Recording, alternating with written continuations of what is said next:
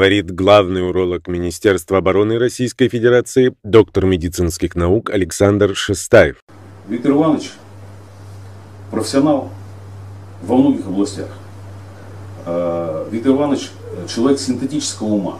При этом а, мы все знаем, что наиболее великие и значимые какие-то открытия, они как раз появляются на стыке наук, на стыке технологий. Так вот, Виктор Иванович, а, имея широчайший, широчайший кругозор, глубочайшие знания и нестандартное мышление во многих областях, на стыке сопредельных наук просто творит чудеса. Мы знаем, что и удивляемся до сих пор, что в одном человеке уживается и великий художник, который делает э, уникальные художественные произведения. Он делает музыкальные инструменты. Э, это живописец.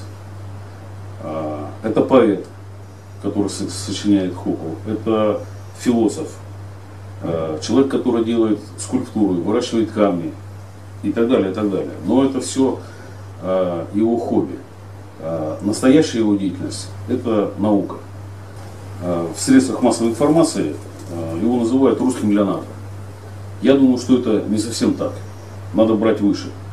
Это русский Будда. Несмотря на то, что э, его изобретения э, безусловно работают, и это все доказано многократно, э, они иногда встречают какое-то сопротивление при внедрении.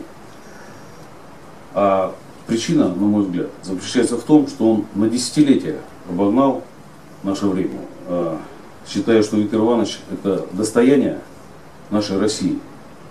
И не только России, а это достояние человечества, которого нужно беречь и записывать каждое его слово, а, и его изобретение тщательнейшим образом изучить и внедрять э, в практику.